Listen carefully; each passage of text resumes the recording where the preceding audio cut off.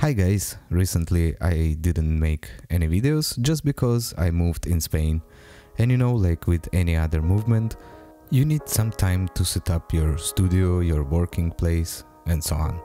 So as many of you of course know that when you're moving in a new house pretty much you want some new stuff to be around and one of them should be decorations. So I decided to make my own decoration, something like a 3D printed wall art and a little bit of LEDs inside. So by searching internet I found this SVG. It's kind of when you're looking straight at it, it looks like 3D even if it's 2D. And then I decided to make it 60 by 60 centimeters. If any if any of you will be interested in how can you cut STL in Fusion 360, just ping me in the comments below and I will make more detailed tutorial on how to split your STL. Well, let's not waste your time and enjoy the video.